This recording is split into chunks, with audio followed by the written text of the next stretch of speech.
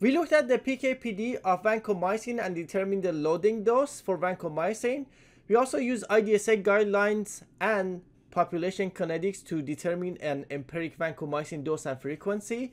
We also selected an individualized vancomycin dose and frequency based on serum vancomycin levels. Now the next learning objective is given a patient on intermittent hemodialysis, recommend appropriate vancomycin dosing and monitoring. Intermittent hemodialysis typically removes about 30 to 40% of vancomycin in a full hemodialysis session, which usually takes about 4 hours. Sometimes because of hemodynamic instability, hemodialysis sessions could be uh, terminated early. So if a hemodialysis session uh, lasts uh, shorter, so let's say one hour, then uh, less amount of vancomycin will be removed. Now, a lot of published protocols actually suggest to get the vancomycin level before dialysis, and then assuming that the patient gets the full dialysis session, then you can actually uh, calculate and uh, say that 30 to 40% of it was removed and calculate what would be the trough after dialysis session. However, in clinical practice, uh, most clinicians actually get the vancomycin level after dialysis.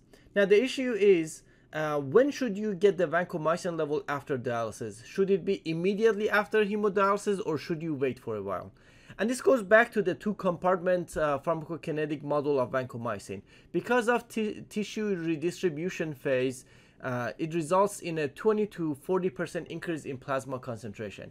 When vancomycin is administered, a good portion of it goes into the peripheral tissue. And the level that we get is actually from the central uh, compartment, which is uh, circulation. And when hemodialysis is complete, hemodialysis is basically removing vancomycin from the central compartment. So after, so immediately after uh, completion of hemodialysis, if you get the level, it will show the level in the central uh, in the central compartment, which is the blood, which might be low.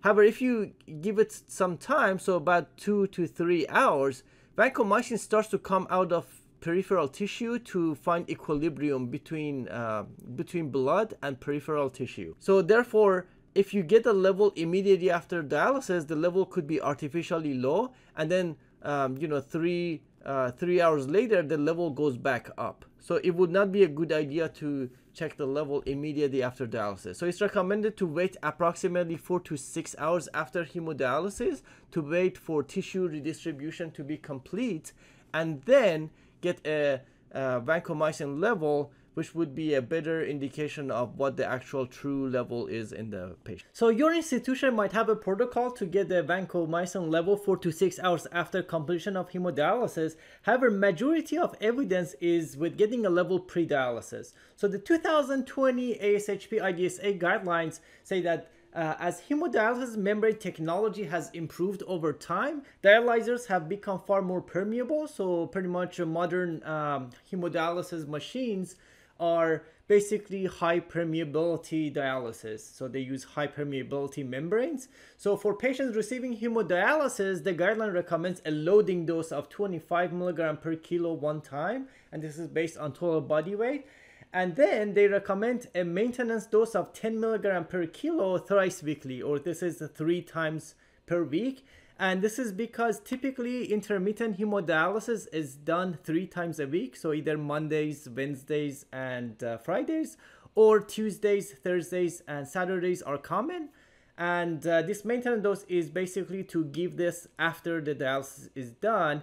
And they do uh, recommend getting a pre-dialysis instead of post-dialysis to get a pre-dialysis level and as long as this pre-dialysis, so this is uh, right before hemodialysis is done, if you get a level and it's 15 to 20, it's very likely to achieve a AUC of 400 to 600 in the previous 24 hours. And then this dosing recommendations are just to start things, then uh, you know at least the weekly vancomycin pre-dialysis level should be driving the subsequent dosing of vancomycin.